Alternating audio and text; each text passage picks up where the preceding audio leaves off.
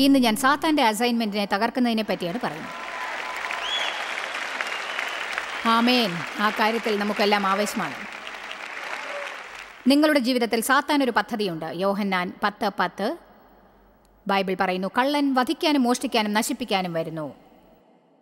അവന്റെ അസൈൻമെന്റ് വധിക്കാനും മോഷ്ടിക്കാനും നശിപ്പിക്കാനുമാണ്. ശാരീരികമായി നിങ്ങളെ വധിക്കുകയല്ല പകരം നിങ്ങളുടെ ജീവിതത്തിലെ നല്ലതെല്ലാം അവൻ നശിപ്പിക്കും. നിങ്ങളുടെ സന്തോഷത്തെ കൊല്ലും സമാധാനത്തെ കൊല്ലും എന്നിട്ട് നിങ്ങളെ കഷ്ടപ്പെടുത്തും. പക്ഷേ യേശു പറഞ്ഞു ഞാൻ വന്നത് നിങ്ങളുടെ ജീവിതം സന്തോഷപ്രദമാകാൻ വേണ്ടിയാകുന്നു. നിങ്ങളുടെ ജീവിതത്തിന്റെ ഓരോ നിമിഷവും എങ്ങനെ സന്തോഷിക്കാം എന്ന് പഠിക്കുന്നതാണ് സാത്താൻ നിങ്ങളോട് ചെയ്ത എല്ലാ അന്യായങ്ങൾക്കും പകരം കൊടുക്കാൻ ഈ ലോകത്തിലെ എല്ലാ വഴികളെക്കാളും മികച്ചത്. ഞാൻ ഒരിക്കലും ജീവിതം കൂടുതൽ ആസ്വദിച്ചിട്ടില്ല. ഞാൻ മോശമായ ഒരു പരിതസ്ഥിതിയിലാണ് വളർന്നത്. ചിരിച്ചതിന് പോലും ദുരിതം അനുഭവിക്കേണ്ടി വന്നു ഓർക്കുന്നു. എന്റെ അച്ഛൻ വളരെ ദുഷ്ടനും കോപക്കാരനും കർശനക്കാരനും ആയിരുന്നു. ഞങ്ങളുടെ വീട്ടിൽ ഒട്ടും തന്നെ സന്തോഷമില്ലായിരുന്നു. എന്റെ ജീവിതത്തിലെ എത്ര വലിയൊരു ഭാഗമാണ് നഷ്ടപ്പെടുത്തിയതെന്ന് നാൽപ്പത് വയസ്സിലാണ് എനിക്ക് മനസ്സിലായത് എന്ന് തോന്നുന്നു. നമ്മൾ ജീവിതത്തിലൂടെ വെറുതെ കടക്കണമെന്നല്ല ദൈവം ആഗ്രഹിക്കുന്നത്. നമ്മൾ ജീവിതം സന്തോഷിക്കണമെന്നാണ് ആഗ്രഹിക്കുന്നത്. നമ്മൾ പോയിക്കൊണ്ടിരിക്കുന്ന യാത്രയിൽ ഇപ്പോൾ എവിടെയാണോ അവിടെ സന്തോഷിക്കണമെന്ന് അവൻ ആഗ്രഹിക്കുന്നു. നമ്മൾ ജീവിതത്തിന്റെ ഓരോ നിമിഷവും ആസ്വദിക്കണം. കർത്താവിന്റെ സന്തോഷമാണ് എന്റെ ശക്തി. സാത്താൻ നമ്മുടെ സന്തോഷം മോഷ്ടിക്കാൻ നോക്കിയേക്കാം. കാരണം നമ്മുടെ സന്തോഷം അവന് കിട്ടിയാൽ നമ്മുടെ ശക്തി അവന് കിട്ടും. നമ്മുടെ ശക്തി അവന് കിട്ടിയാൽ നമ്മെ കബളിപ്പിക്കാൻ അവന് എളുപ്പം സാധിക്കും. അതുകൊണ്ട് സാത്താന് നിങ്ങളുടെ ജീവിതത്തെക്കുറിച്ച് ഒരു പ്ലാനുണ്ട്. പക്ഷേ ദൈവത്തിന് നമ്മുടെ ജീവിതത്തെക്കുറിച്ച് ഒരു പദ്ധതി ഉണ്ടെന്നതിന് നന്ദി ദൈവമേ. ഇനി യാക്കോബ് നാല് ഏഴ് പറയുന്നു നിങ്ങളെ തന്നെ ദൈവത്തിന് സമർപ്പിച്ച് സാത്താനെ ചെറുക്കുക അപ്പോൾ അവൻ ഓടിപ്പോകും. ഇത് വളരെ എളുപ്പമാണ് എന്ന് നിങ്ങൾക്കറിയാമോ? വളരെ എളുപ്പമാണ്. ദൈവം നിങ്ങളോട് ചെയ്യാൻ പറഞ്ഞേ ചെയ്യൂ നിങ്ങളുടെ ജീവിതത്തിൽ സാത്താൻ യാതൊരു അധികാരവും ഉണ്ടാവില്ല. എന്നാൽ നാം നമുക്കിഷ്ടമുള്ളത് പ്രവർത്തിക്കുന്നു. നമ്മുടെ ചിന്ത പ്രകാരം ചെയ്യുന്നു നമ്മുടെ തോന്നൽ പ്രകാരവും. എന്നിട്ട് ദൈവം അത് അനുഗ്രഹിക്കുമെന്ന് കാക്കുന്നു. എന്നിട്ട് ജീവിതം മുഴുവനും അസ്വസ്ഥരായി കഴിയുന്നു.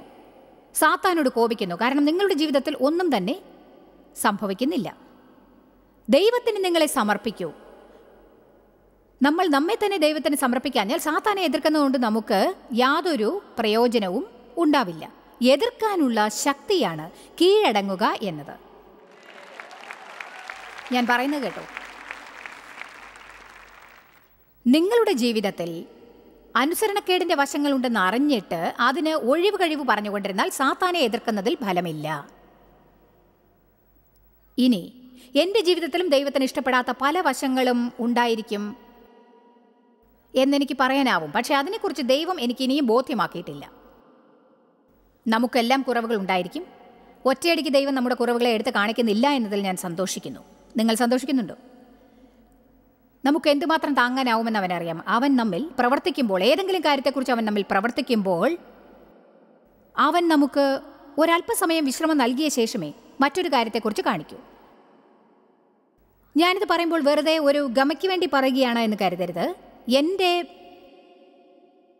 ജീവിതത്തിൽ അനുസരണക്കേട് കാണിക്കുന്ന ഒരൊറ്റ കാര്യം പോലും ഞാൻ അറിഞ്ഞുകൊണ്ടില്ല. അതിന്റെ അർത്ഥം അനുസരണക്കേട് കാണിക്കുന്നില്ലെന്നല്ല. എനിക്ക് അതിനെക്കുറിച്ച് ബോധ്യമായിട്ടുണ്ടാവില്ല എന്നാണ്.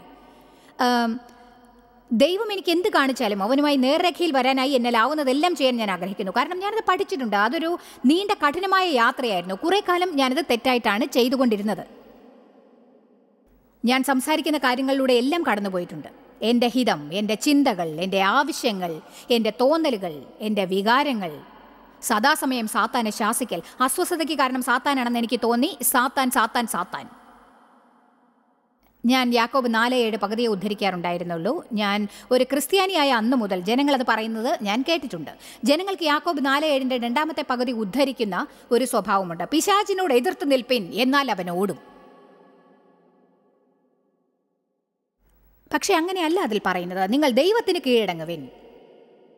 പിശാചിനെ എതിർക്കുക എന്നാൽ അവൻ നിങ്ങളെ വിട്ട് ഓടിപ്പോകും. ഇപ്പോൾ നിങ്ങൾ ദൈവത്തോട് ശരിയായി അതിതീവ്രതയോടെ അനുസരണയുള്ളവരായിരിക്കുന്നെങ്കിൽ അതിനേക്കാൾ ആഴമുള്ള ഒരു മനോഭാവം നിലനിർത്തണം എന്നാണ് ഞാൻ പറയുന്നത്.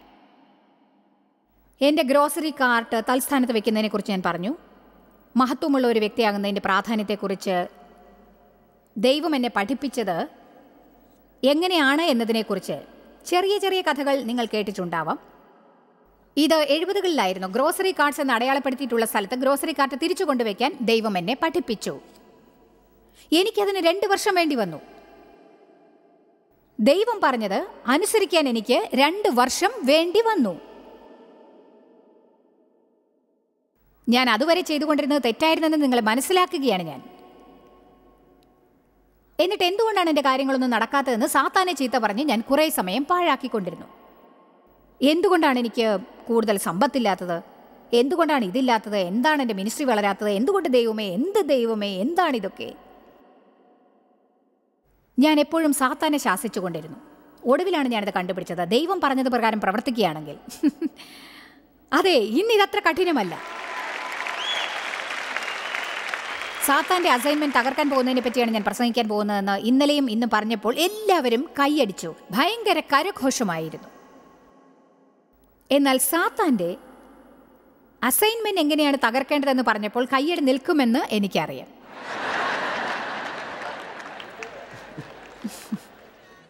ഇവിടെ നിന്നുകൊണ്ട് ജനങ്ങളെ കാണുന്നത് നല്ല രസമാണ്. ജനങ്ങൾക്ക് ആവേശമുണ്ടാക്കുന്ന കാര്യങ്ങളും ആവേശമില്ലാതാക്കുന്നു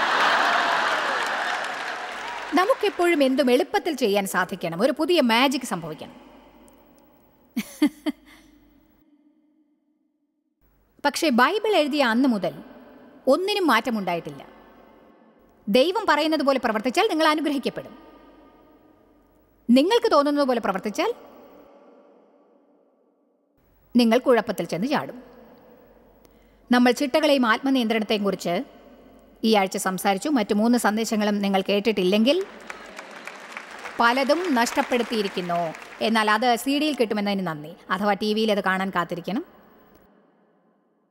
ചിട്ടയും ആത്മനിയന്ത്രണവും അനുസരണമുള്ളൊരു ജീവിതം നയിക്കാൻ വളരെയധികം അത്യാവശ്യമാണ്. കാരണം അനുസരണമുള്ളവരായിരിക്കുമ്പോൾ എപ്പോഴും ദിവസേന നിങ്ങളുടെ ജീവിതത്തിൽ തോന്നുന്ന പോലെ ജീവിക്കാനാവില്ല. എന്റെ ജീവിതത്തിൽ ദിവസവും ഞാൻ ചിട്ടയോടെ ഇരിക്കണം. എന്റെ ജീവിതത്തിൽ ദിവസവും ഞാൻ എന്നെ ചിട്ടപ്പെടുത്തണം. ഓരോ സമയവും ഞാൻ ഭക്ഷണത്തിനിരിക്കുമ്പോഴും ഞാൻ എന്നെ സ്വയം ചിട്ടപ്പെടുത്തേണ്ടതാണ്. ഓരോ തവണ ആരെങ്കിലും എന്നെ ചൊടിപ്പിക്കുമ്പോൾ എന്റെ ചിന്തകളെയും വാക്കുകളെയും ഞാൻ ചിട്ടപ്പെടുത്തേണ്ടതാണ്. ഞാൻ വളരെ നല്ല സ്വഭാവക്കാരിയാവുന്ന സ്ഥിതിയിൽ ഇനിയും എത്തിയിട്ടില്ല. നിങ്ങളും എത്തിയിട്ടില്ല. എന്തുകൊണ്ടാണെന്നു? പാപം മരിച്ചിട്ടില്ല. റോമർ ആറിൽ പറയുന്നു നാം പാപത്തിന് മരിച്ചിരിക്കുന്നു എന്ന്. അതായത് പുതുപ്പിക്കപ്പെട്ട വീണ്ടും ജനിച്ച നമ്മുടെ ഭാഗം പുതുപ്പിക്കപ്പെട്ട വീണ്ടും ജനിച്ച ആത്മാവിന് പാപവുമായി യാതൊരു ബന്ധവും സ്ഥാപിക്കാൻ ഇഷ്ടമല്ല. നമ്മുടെ ആ ഭാഗം പാപത്തിന് മരിച്ചിരിക്കുന്നു. എന്നാൽ നമ്മുടെ ജഡീകത നമ്മുടെ ജഡത്തിലാണ്. അതിൽ പ്രവർത്തനം നടന്നുകൊണ്ടിരിക്കും. ഇപ്പോൾ ഞാൻ അതേ എന്ന് പെട്ടെന്ന് പറയുന്നു. ഗ്രോസറി കാർട്ട് അതിന്റെ സ്ഥാനത്ത് എടുത്തു വെക്കുക എന്ന നിസ്സാര കാര്യത്തിന് ദൈവത്തോട് ഞാൻ ഇനി രണ്ടു വർഷം തർക്കിക്കില്ല എന്ന് വിശ്വസിക്കുന്നു. ഞാൻ പറയുന്നതിന്റെ വിലമതിപ്പ് മനസ്സിലാക്കുന്ന ഒരു പരിധിയിൽ നിങ്ങൾ എത്തിയിട്ടുണ്ട് എന്ന് ഞാൻ വിശ്വസിക്കുന്നു. നിങ്ങൾ ഒരു കാര്യം മനസ്സിലാക്കിയിട്ടുണ്ടാവും. നിങ്ങൾ ദൈവത്തെ അനുസരിക്കാതിരുന്നാൽ അതിന്റെ ഫലം അനുഭവിക്കേണ്ടി വരുമെന്ന്. നമ്മൾ കൃപയുടെ കീഴിലാണ് എന്നെനിക്കറിയാം ദൈവം നമ്മോട് ക്ഷമിക്കും. അവൻ അങ്ങനെ ചെയ്യുന്നതിൽ ഞാൻ സന്തോഷിക്കുന്നു.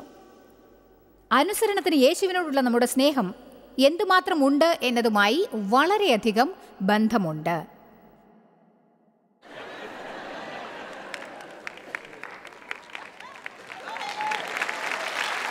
ദൈവത്തെ അനുസരിക്കേണ്ടത് കൂടുതൽ പണത്തിനും കൂടുതൽ അഭിവൃദ്ധിക്കും കൂടുതൽ സഹായത്തിനും വലിയ വീടിനുമല്ല എന്ന് നിങ്ങളോട് ഞാൻ പറയുകയാണ്.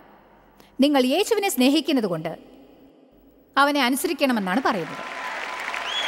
നിങ്ങൾക്ക് പരിശുദ്ധാത്മാവിനെ ദുഃഖിപ്പിക്കാൻ ഇഷ്ടമല്ല. കാരണം നിങ്ങളുടെ ജീവിതത്തിൽ മറ്റെന്തിനേക്കാളും ഏറെ ദൈവം നിങ്ങൾ ആരാവാൻ ആഗ്രഹിക്കുന്നു അതാവാൻ ആഗ്രഹിക്കുന്നു. നിങ്ങളെക്കുറിച്ച് എനിക്കറിയില്ല. പക്ഷേ എനിക്കറിയാം എനിക്ക് നന്നായിട്ട് അറിയാം. ഇത് തികച്ചും മഹനീയമാണെന്ന് എനിക്കറിയാം. പക്ഷേ ദൈവത്തോട് എനിക്ക് സഹതാപം തോന്നുന്നു. എന്റെ സഹതാപം അവൻ ആവശ്യമില്ലെന്നറിയാം പക്ഷേ ഞാൻ എപ്പോഴും പറഞ്ഞുകൊണ്ടിരിക്കും ദൈവമേ എന്നോട് ക്ഷമിക്കണം. ജനങ്ങൾ പെരുമാറുന്നത് കാണുമ്പോൾ എനിക്ക് വിഷമം തോന്നുന്നു. പലർക്കും ഈ ലോകത്തിൽ അങ്ങയുമായി ഒരു ബന്ധമുണ്ടാക്കാൻ ഇഷ്ടമല്ല. അവർ അങ്ങയുടെ നാമത്തെ പല മോശമായ വാക്കുകൾക്കും ഭയങ്കര കാര്യങ്ങൾക്കും ഉപയോഗപ്പെടുത്തുന്നു. ദൈവമേ ഇവിടെ നടക്കുന്ന എല്ലാ കൊലപാതകങ്ങൾക്കും കുറ്റകൃത്യങ്ങൾക്കും ഭീകരപ്രവർത്തനങ്ങൾക്കും ദുഃഖം തോന്നുന്നു. പക്ഷെ ബൈബിൾ പറയുന്നു നമ്മൾ അന്ധകാരത്തിൽ വെളിച്ചമായി പ്രകാശിക്കേണ്ടതാണെന്ന്. ദൈവത്തിന് അഹങ്കരിക്കാവുന്ന ആരെങ്കിലും ആവാൻ ഞാൻ ആഗ്രഹിക്കുന്നു. ഇവിടെ നടക്കുന്ന എല്ലാ കുഴപ്പങ്ങളും നോക്കാതെ ദൈവത്തിന് നോക്കാവുന്ന ഒരു വ്യക്തിയായിരിക്കാൻ നിങ്ങൾക്ക് ആർക്കും ആഗ്രഹമില്ലേ? നിങ്ങൾ ആദ്യം മുതൽക്ക് തന്നെ അനുസരണമുള്ളവരായിരിക്കണമെങ്കിൽ അതിന് തക്ക വില കൊടുക്കേണ്ടി വരും എന്നത് വ്യക്തമായി അറിഞ്ഞിരിക്കണം. നിങ്ങൾ അനുസരണയുള്ളവരാവണമെങ്കിൽ ഞാനും അതിന് വില കൊടുക്കണം. തുടർന്ന് ഞാൻ അതിൽ വില കൊടുക്കണം. നിങ്ങൾ ചോദിക്കും അതിന് ഞാൻ എന്ത് വിലയാണ് കൊടുക്കേണ്ടത്? നിങ്ങളുടെ ഇഷ്ടപ്രകാരം എപ്പോഴും എല്ലാം നടക്കില്ല. എല്ലാം നിങ്ങൾക്ക് നല്ലതായി തോന്നാൻ പോകുന്നില്ല. എല്ലാ കാര്യങ്ങളും നിങ്ങൾക്ക് സൗകര്യമായിരിക്കില്ല. എല്ലാ കാര്യങ്ങളും നിങ്ങളെ ചിരിപ്പിക്കില്ല ചിലപ്പോൾ ചിരിപ്പിച്ചേക്കാം പക്ഷേ നമുക്കെല്ലാം നമ്മുടെ കാര്യം നടക്കണം. തങ്ങളുടെ വഴിയിലെല്ലാം നടക്കണമെന്ന് ആഗ്രഹിക്കാത്തവരാരുമില്ല. എനിക്കെന്റെ ഇഷ്ടം നടക്കണം. പക്ഷേ അത് യാഥാർത്ഥ്യമല്ലെന്ന് കണ്ടുപിടിക്കേണ്ടി വന്നു. നമ്മൾ വിശ്വസിക്കേണ്ടതാണ്. ഇതും മറ്റു മീറ്റിങ്ങുകൾ പോലെയാണെന്ന് ഞാൻ പറയുന്നു. പക്ഷേ ഇന്നിവിടെ ധാരാളം പുതിയ ജനങ്ങൾ വന്നിട്ടുണ്ട്. നിങ്ങൾക്ക് വിശ്വസിക്കാനാവുമെങ്കിൽ നിങ്ങൾ ഒരു കാര്യം വേണമെന്ന് എത്ര ആഗ്രഹിച്ചാലും ദൈവം നമ്മോട് ഇത് ചെയ്യുക അത് ചെയ്യുക എന്ന് പറയുന്നത് നമ്മുടെ നന്മയ്ക്ക് വേണ്ടിയാണ്. നിങ്ങൾക്ക് വിശ്വസിക്കാനാവുമെങ്കിൽ നിങ്ങൾ ഒരു കാര്യം വേണമെന്ന് എത്ര ആഗ്രഹിച്ചാലും നിങ്ങൾ തനിച്ചു പാർക്കുന്ന ഒരു സ്ത്രീയാണ് എന്നിരിക്കട്ടെ നിങ്ങൾ കുറേ കാലമായി തനിച്ചാണ്. എന്നാൽ സുന്ദരനായ ഒരു പുരുഷൻ ഇപ്പോൾ നിങ്ങളോട് അടുക്കുന്നുണ്ട്. അയാൾക്ക് നിങ്ങളുടെ കാര്യത്തിൽ താല്പര്യമുണ്ട് പക്ഷേ അയാൾ ഒരു വിശ്വാസിയാണ്. നിങ്ങൾ അയാളിൽ ചില പ്രശ്നങ്ങൾ കണ്ടുപിടിച്ചിരിക്കുന്നു. എന്നാലും അയാൾക്ക് നിങ്ങളെ ഇഷ്ടമാണ്. നിങ്ങൾ ഇങ്ങനെ ചിന്തിക്കുമ്പോൾ എനിക്ക് അയാളെ മാറ്റാൻ കഴിയും. ദൈവം നിങ്ങളോട് അപ്പോൾ പറയും അത് വേണ്ട അത് വേണ്ട അത് വേണ്ട അത് വേണ്ട അത് വേണ്ട. പക്ഷെ ദൈവമേ ഞാൻ തനിച്ചാണല്ലോ എനിക്കിങ്ങനെ തനിച്ചിരിക്കാൻ ഇനി പറ്റില്ല. അത് വേണ്ട അത് വേണ്ട അത് വേണ്ട അത് വേണ്ട. നിങ്ങൾ കാര്യം ആവശ്യമില്ല എന്നതുകൊണ്ടല്ല ദൈവം അങ്ങനെ പറയുന്നത്. നിങ്ങൾ രാത്രിയിൽ ഒറ്റയ്ക്ക് കിടന്ന് കരയുന്നത് കാണാൻ അവൻ ഇഷ്ടപ്പെട്ടതുകൊണ്ടല്ല അവൻ അങ്ങനെ പറയുന്നത്. അവൻ നിങ്ങളോട് അങ്ങനെ പറയാൻ കാരണം ജീവിതകാലം മുഴുവനുമുള്ള വേദനയും ദുരിതവും കഷ്ടപ്പാടും ഇല്ലാതാക്കാൻ വേണ്ടിയാണ്.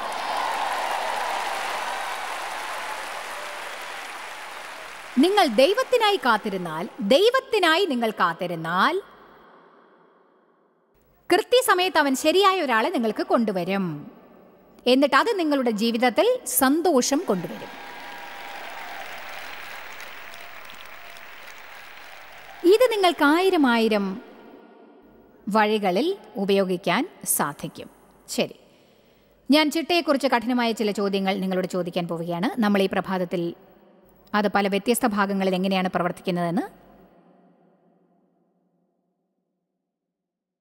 നമുക്ക് കാണാൻ കഴിയും. നിങ്ങൾക്ക് സംസാരത്തിൽ ചിട്ടകളുണ്ടോ?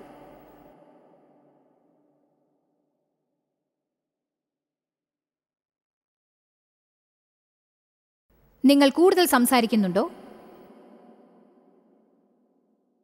അതോ വേണ്ടത്ര സംസാരിക്കുന്നില്ലേ? നിങ്ങൾക്ക് ആശയവിനിമയം നടത്താനുള്ള സാമർഥ്യം ഉണ്ടാവില്ല? ഇന്ന് രാവിലെ ഞങ്ങൾ മീറ്റിംഗ് ആരംഭിക്കുന്നതിന് അല്പം മുൻപ് ഞങ്ങളുടെ ചെറിയ മുറിയിൽ കാത്തിരിക്കുകയായിരുന്നു. ഞാൻ എന്റെ മൈക്രോഫോൺ കിട്ടാൻ വേണ്ടി ശ്രമിക്കുകയായിരുന്നു. ഡേവാണ് എപ്പോഴും സഹായിക്കാറ്. കാരണം അതിന്റെ വസ്ത്രത്തിന്റെ ഉള്ളിൽ ഫിക്സ് ചെയ്യാനുള്ളതാണ്. അതിനാരെങ്കിലും എന്നെ സഹായിക്കണം. പക്ഷേ അദ്ദേഹത്തെ കാണാനില്ല. അദ്ദേഹം അവിടെ ഇല്ല. എങ്ങോട്ടാണ് പോകുന്നതെന്ന് എന്നോട് പറയാതെയാണ് പോയത്. ഡേവ് അദൃശ്യനാവുന്നതിൽ സമർത്ഥനാണ്. പെട്ടെന്ന് അദ്ദേഹത്തെ കാണാതെയാവും.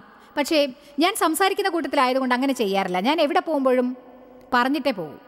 അദ്ദേഹം അതിനെക്കുറിച്ച് ചിന്തിക്കാറില്ല. പോണെന്ന് തീരുമാനിച്ചാൽ ഉടനെ പോകും എന്നിട്ട് അദ്ദേഹം എങ്ങോട്ടാണ് പോയതെന്ന് കണ്ടുപിടിക്കാൻ ഞാൻ സമയം ചിലവാക്കി. എന്നെ സഹായിക്കാൻ മറ്റാരെങ്കിലും ഉണ്ടോ എന്ന് അന്വേഷിച്ചു. അങ്ങനെ ഞാൻ ചിലപ്പോൾ കൂടുതൽ സംസാരിക്കും പക്ഷെ ചിലപ്പോൾ അദ്ദേഹം കൂടുതൽ സംസാരിക്കാറില്ല. ഇവ രണ്ടും പ്രശ്നങ്ങൾ ഉണ്ടാക്കാൻ ഇടയാവും. നിങ്ങളൊരു നല്ല ആശയവിനിമയക്കാരനല്ലെങ്കിൽ നല്ല രീതിയിൽ ആശയവിനിമയം ചെയ്യാൻ പഠിക്കണം. ഞാൻ ദേവിനെ വെറുതെ കളിയാക്കിയതാണ് അദ്ദേഹം ഉത്തമനാണ്. പക്ഷേ ഇന്ന് രാവിലത്തെ കാര്യം പറഞ്ഞില്ല കേട്ടോ. ഞങ്ങൾ ഒരുമിച്ച് ഷോപ്പിംഗ് ചെയ്യുമ്പോൾ ശരിക്കും തമാശയായിരിക്കും. ഞാൻ അദ്ദേഹത്തെ തേടിക്കൊണ്ട് ഒരു ദിവസം മുഴുവൻ ചിലവാക്കും. നിങ്ങൾക്കിത് നിഷേധിക്കാനാവില്ല. ഞാൻ പറഞ്ഞത് സത്യമാണ്. ഞങ്ങളൊരു സ്റ്റോറിലായിരിക്കും. പെട്ടെന്ന് ഞാൻ തിരിഞ്ഞു നോക്കുമ്പോൾ അദ്ദേഹത്തെ കാണില്ല. പോയി. എങ്ങോട്ടാ പോയതെന്ന് എനിക്കറിയില്ല. എന്നിട്ട് ഞാൻ അദ്ദേഹത്തെ വിളിക്കും. പക്ഷേ അദ്ദേഹം ഫോൺ എടുക്കുകയില്ല. അത് സൈലന്റിൽ ഇട്ടിരിക്കുകയായിരിക്കും. ദേവിനോട് ഞാൻ ദേഷ്യപ്പെടാൻ സന്ദർഭമുണ്ടാക്കാൻ ഇത് പോരെ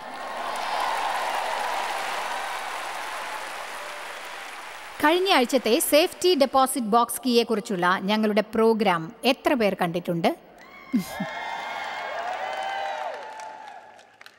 നിങ്ങളത് കണ്ടിട്ടില്ലെങ്കിൽ എപ്പോഴെങ്കിലും കാണാൻ ശ്രമിക്കുക. ഞാൻ നന്നായി പെരുമാറണം. ഇല്ലെങ്കിൽ അദ്ദേഹം ഇവിടെ വന്ന് എന്നെ ശരിയാക്കും. നിങ്ങളുടെ ശബ്ദത്തിന്റെ ഘനം എങ്ങനെയാണ്? ഞാൻ വളർന്ന ചുറ്റുപാടനുസരിച്ച് എല്ലാവരോടും പൗരുഷമായി പെരുമാറാനുള്ള സ്വഭാവമുണ്ടായിരുന്നു എന്നെ വളർത്തിയത് കഠിന ഹൃദയമുള്ള ഒരു മനുഷ്യനായിരുന്നു. പലപ്പോഴും നിങ്ങൾ എന്ത് പറയുന്നു എന്നതല്ല പ്രശ്നം. അതെങ്ങനെ പറയുന്നു എന്നതാണ്. ആമേൻ. നമുക്കിനി ഏശയാവ് അൻപത്തെട്ട് നോക്കാം. ഒൻപതാം വാക്യം. നമ്മൾ സാത്താന്റെ അസൈൻമെന്റിനെ തകർക്കുന്നതിനെക്കുറിച്ചാണ് ചിന്തിക്കുന്നത്. നിങ്ങൾക്ക് വായയെ ചിട്ടപ്പെടുത്തി സാത്താന്റെ അസൈൻമെന്റിനെ തകർക്കാം. അത് നിങ്ങൾക്കറിയാമോ? യശയാവ് അൻപത്തെട്ട് ഒൻപത് പറയുന്നു അപ്പോൾ നീ നിലവിളിക്കും യഹോവ ഉത്തരമരുളും. നീ നിലവിളിക്കും ഞാൻ വരുന്നു എന്നവൻ അരുളി ചെയ്യും നുകവും വിരൽ ചൂണ്ടുന്നതും വഷളത്വം സംസാരിക്കുന്നതും നീ നിന്റെ നടുവിൽ നിന്ന് നീക്കിക്കളയുകയും കഷ്ടത്തിൽ ഇരിക്കുന്നവന് തൃപ്തി വരുത്തുകയും ചെയ്യുമെങ്കിൽ നിന്റെ പ്രകാശം ഇരുളിൽ ഉദിക്കും. എനിക്കിതിൽ നിന്ന് മനസ്സിലായത് ഇതാണ്. എന്റെ പ്രാർത്ഥനയ്ക്ക് ഉടനെ ഉത്തരം ലഭിക്കണമെന്നുണ്ടെങ്കിൽ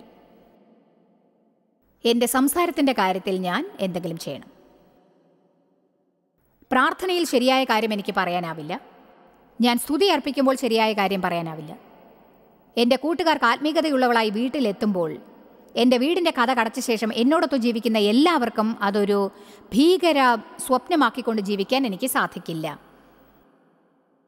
അതെ നമുക്ക് യാഥാർത്ഥ്യത്തെ നേരിടാം. ആരെങ്കിലും വീട്ടിൽ വരുന്നത് വരെ എല്ലാവരോടും നന്നായി പെരുമാറാനാവുമെന്ന് ഞാൻ പറയാറുണ്ട്.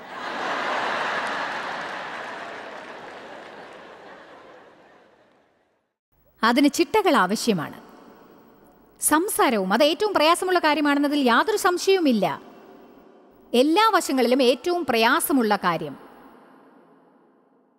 നിയന്ത്രണമാണ്. ആർക്കും നാവിനെ ശരിയാക്കാൻ കഴിയില്ലെന്ന് വേദപുസ്തകം നമ്മോട് പറയുന്നുണ്ട്. അതുകൊണ്ടാണ് ഞാൻ എന്റെ ഓരോ മീറ്റിങ്ങിലും ഇത് പറയാൻ ശ്രമിക്കുന്നത്. ഞാൻ നിങ്ങളുടെ ആത്മനിയന്ത്രണത്തെയും ചിട്ടയെയും അനുസരണയെയും പറ്റി സംസാരിക്കുന്ന സമയത്ത് നിങ്ങൾ വീട്ടിൽ ചെന്ന് നിങ്ങളുടെ ആത്മശക്തി ഉപയോഗിച്ച ഒരു നല്ല വ്യക്തി അവൻ ശ്രമിക്കണം എന്നല്ല ഞാൻ പറയുന്നത്. നിങ്ങൾ വീട്ടിൽ ചെന്ന് ദൈവത്തോടൊത്ത് വിശേഷപ്പെട്ട സമയം ഉപയോഗിച്ച് പറയണം. ദൈവമേ അങ്ങയുടെ ആഗ്രഹപ്രകാരമുള്ളവൻ അവൻ എന്നെ സഹായിക്കണമേ. എന്നാൽ അങ്ങ് എന്നിലൂടെ പ്രവർത്തിക്കാഞ്ഞാൽ എനിക്കത് ചെയ്യാനാവില്ല. എന്നിലൂടെ അങ്ങ് അത് ചെയ്യണമേ.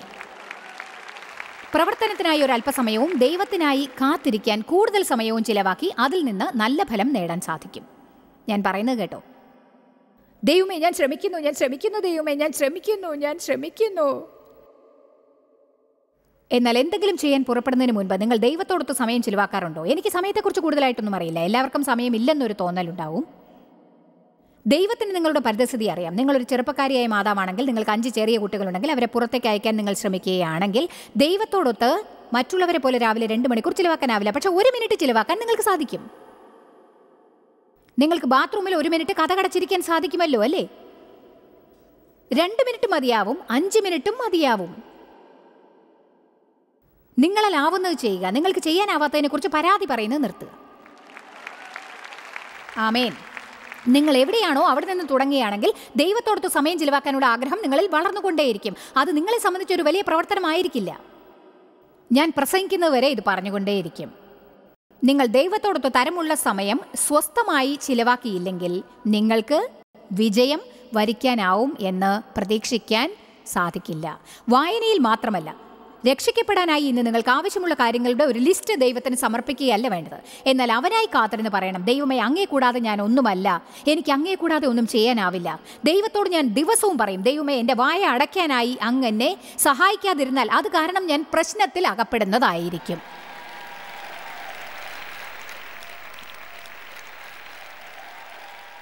ഞാൻ അളവിലധികം സംസാരിക്കുന്നുണ്ടെന്ന് സമ്മതിക്കുന്നു. പക്ഷേ ഇതിനത് വേണം.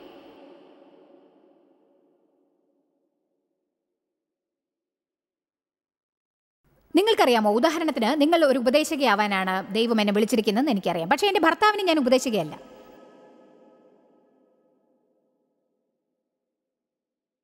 അതിനാൽ ചിലപ്പോൾ വായ അടയ്ക്കാനും ചിലപ്പോൾ തുറക്കാനും പഠിക്കണം. നിങ്ങളെ ഉപദേശിക്കുന്ന ഞാൻ എന്റെ ഭർത്താവിനെ എന്നെ ഉപദേശിക്കാൻ അനുവദിക്കണം.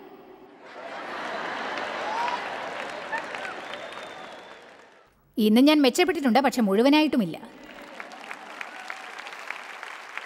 നന്ദി. ഓ നന്ദിയുണ്ട്. എനിക്ക് തോന്നുന്നു എന്റെ ദൈവമേ ഞാൻ ഇത്രയും വർഷങ്ങൾ അതിനായി ചിലവാക്കിയെങ്കിലും ഇനിയും മുഴുവനായി അവിടെ എത്തിയിട്ടില്ല. അദ്ദേഹം എന്തെങ്കിലും കാര്യത്തിൽ എന്റെ തെറ്റിത്തിരുത്തുമ്പോൾ എന്റെ വായയെ ഞാൻ ചിട്ടപ്പെടുത്തണം. പക്ഷെ ഞാൻ പറയും അതെ ശരിയാണ് നിങ്ങൾക്കും ചില പ്രശ്നങ്ങളുണ്ട് ഡേവ്. അതെ എനിക്കിതിനൊരു സാക്ഷിയെ കിട്ടുമോ?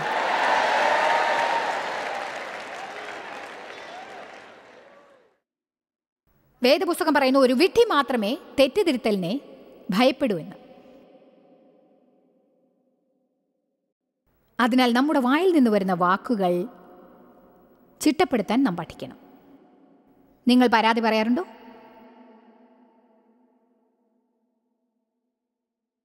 നിങ്ങൾക്കറിയില്ലേ? നിങ്ങൾക്ക് തീരുമാനിക്കാനാവില്ലേ? എന്ത്? ഞാൻ ഒരു കാര്യം പറയട്ടെ. സാത്താൻ നിങ്ങളുടെ പരിതസ്ഥിതികളിൽ കുഴപ്പമുണ്ടാക്കും. അവൻ നിങ്ങളെ ചൊടിപ്പിക്കാനുള്ള ഏറ്റവും നല്ല വഴികൾ പരിശ്രമിക്കും. നിങ്ങളുടെ ലക്ഷ്യത്തെ തെറ്റിക്കാൻ അവൻ ശ്രമിക്കും. അപ്പോൾ പരാതി പറയാൻ എന്തെങ്കിലും തക്കതായത് നിങ്ങൾ കണ്ടുപിടിക്കാൻ ആരംഭിക്കും. അതെ.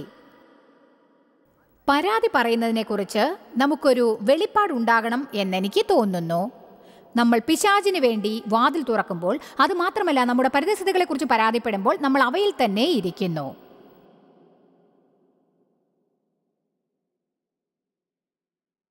പരാതി പറയുക എന്നാൽ അവിടെ തന്നെ ഇരിക്കൽ. സ്തോത്രം എന്നാൽ ഞാൻ ഉയർത്തപ്പെടുന്നു. നമുക്ക് പരാതി പറയാം എന്നിട്ട് തുടരാം. അല്ലെങ്കിൽ സ്തോത്രം പറഞ്ഞ് ഉയർത്തപ്പെടാം. ഏതായാലും നമ്മൾ അതിനായി ആഗ്രഹിക്കുന്നു. നിങ്ങൾ ഒന്ന് കൊരിന്തർ പത്ത് എടുക്കണമെന്ന് ഞാൻ ആഗ്രഹിക്കുന്നു. നമ്മൾ സാത്താന്റെ അസൈൻമെന്റിനെ തകർക്കുന്നതിനെ കുറിച്ചാണ് ചിന്തിക്കുന്നത്. നമുക്ക് പരാതി പറയുന്നത് നിർത്തി സാത്താനെ പുറകോട്ട് മാറ്റാൻ സാധിക്കും. എട്ടാം വാക്യം അവരിൽ ചിലർ പരസംഗം ചെയ്ത ഒരു ദിവസത്തിൽ ഇരുപത്തി മൂവായിരം പേർ വീണു പോയതുപോലെ നാം പരസംഗം ചെയ്യരുത്. ഞാൻ ഒരു കാര്യം പറയട്ടെ അനുസരണക്കേടിന് പ്രതിഫലം അനുഭവിക്കും. ദൈവത്തോട് അനുസരണക്കേട് കാണിച്ചാൽ ഉടനെ മരണം സംഭവിക്കുമെന്നല്ല ഞാൻ പറയുന്നത്. അനന്യാസിനും സഫീരയ്ക്കും അതാണ് സംഭവിച്ചത്. നമുക്ക് ഒരല്പം കൃപ ലഭിക്കുന്നതിൽ ഞാൻ സന്തോഷിക്കുന്നു. പക്ഷേ നമ്മൾ ദൈവത്തെ അനുസരിക്കാത്തപ്പോൾ എന്റെ ജീവിതത്തിന്റെയും നിങ്ങളുടെ ജീവിതത്തിന്റെയും ഏത് ഭാഗവും ടി വി കാണുന്നവരുടെയും ഏത് ഭാഗത്തെങ്കിലും അനുസരണക്കേട് കാണിച്ചിട്ടുണ്ടെന്ന് അറിയാമെങ്കിൽ അതിന് നാം എപ്പോഴും ചെയ്യാറുള്ളത് പോലെ ഒഴിവ് കഴിവ് പറയുന്നുണ്ടെങ്കിൽ. നമ്മൾ ഒഴിവ് കഴിവ് പറയാൻ സമർത്ഥരാണല്ലോ അല്ലേ? നമ്മൾ സാധാരണ ആരോടെങ്കിലും ഇങ്ങനെ പറയാറുണ്ട് നീ അങ്ങനെ ചെയ്തെന്ന് എനിക്ക് വിശ്വസിക്കാനാവില്ല. എന്നാൽ നമുക്ക് എപ്പോഴും എല്ലാറ്റിനും ഒരു കാരണമുണ്ടാവും.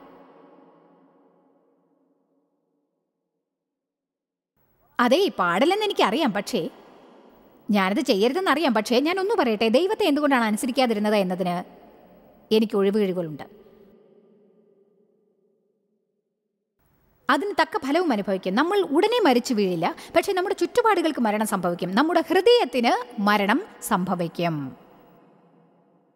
നമ്മൾ നിരാശരാവും. നിരുത്സാഹിതരാവും അസന്തുഷ്ടരാവും. ഒട്ടും തന്നെ സമാധാനമുണ്ടാവില്ല. ഒന്നും നമ്മെ സന്തോഷിപ്പിക്കില്ല. മുറുമുറുത്ത് പരാതി പറയുന്ന ഒരാൾക്ക് നാം എന്ത് തന്നെ കൊടുത്താലും ഒരിക്കലും സംതൃപ്തരാവാൻ സാധിക്കില്ല. ഫിലിപ്പിയർ നാല് ആറിൽ പറയുന്നത് ഇതാണ് ഒന്നിനെക്കുറിച്ചും വിചാരപ്പെടരുത്. എല്ലാറ്റിലും പ്രാർത്ഥനയാലും അപേക്ഷയാലും നിങ്ങളുടെ ആവശ്യങ്ങൾ സ്തോത്രത്തോടുകൂടി ദൈവത്തോട് അറിയിക്കുക അത്രേ വേണ്ടത് എന്ന്. ഒരുപക്ഷെ നിങ്ങൾ ദൈവത്തോട് ഇപ്പോഴെന്തെങ്കിലും ചോദിക്കുന്നുണ്ടാവും. അവൻ നിങ്ങൾക്ക് നൽകുന്ന ഉത്തരം ഇതായിരിക്കും. ഞാൻ എന്തിനത് നിറവേറ്റണം? നീ ഇപ്പോഴും ഞാൻ നിനക്ക് തന്ന ബാക്കി എല്ലാറ്റിനും പരാതി പറയല്ലേ? അതെ ഇന്ന് ഞാൻ നന്നായി ചിരിക്കുന്നു. ഞാൻ വെർജിനിയയിലെ ഹാംപ്റ്റൺ വിടുന്നതിന് മുൻപ് നിങ്ങൾ നോക്കി നന്നായി ചിരിക്കും. നിങ്ങൾക്ക് എന്നോട് ദേഷ്യപ്പെടാനാവില്ല.